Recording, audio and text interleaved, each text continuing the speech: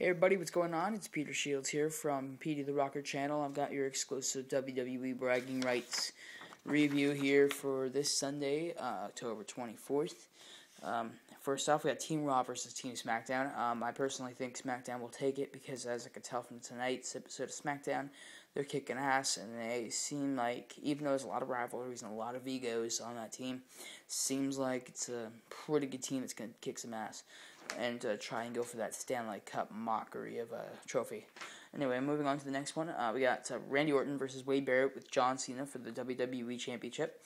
Um, Wade, like I, I would just watch right after wrestling about an hour or so ago, and uh, I would agree with um, those guys. I would say that uh, Wade Barrett will probably win that match, and then they'll probably, or Randy Orton will probably win that match, and then if he wins, he'll probably end up going like. Um, probably end up, what's it called? Um, making Cena do like an arcade, sorry, attitude adjustment, and then Cena, and then what's it called? Little uh, Miz is gonna come out and win the win the title, and then Raw is gonna be gonna be a little fun um, on Monday.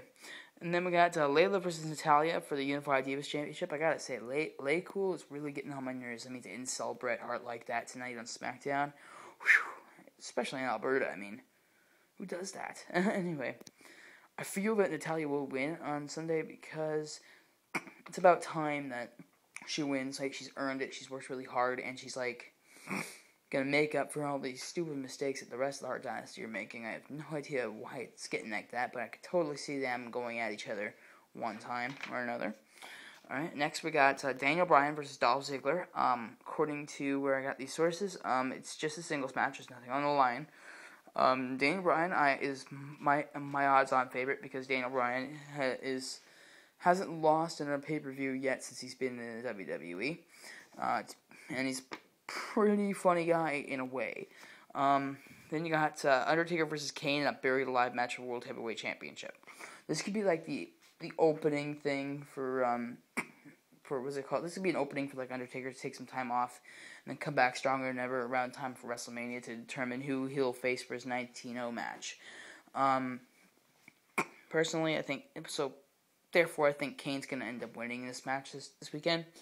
Um, but I'm pretty sure it's either gonna be the main event. If not, it's gonna be very close to the main event, and it's gonna be a very long match. And um, that's everything. And um, oh, and if you're in the Toronto area this Sunday, uh, you can check out uh, Bragging Rights live on the big screen at Colossus Woodbridge. Um, show starts at eight o'clock, but we do a special pre-show. It'll start at seven thirty. We give out prizes such as tickets, merch, WWE merchandise, posters, and such. And um, it's a one of a kind experience. You gotta check it out. Um, for ticket information, just go on the website.